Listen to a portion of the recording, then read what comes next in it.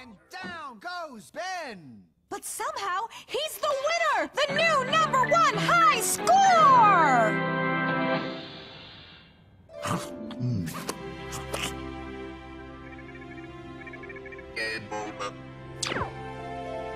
Ben? Are you okay?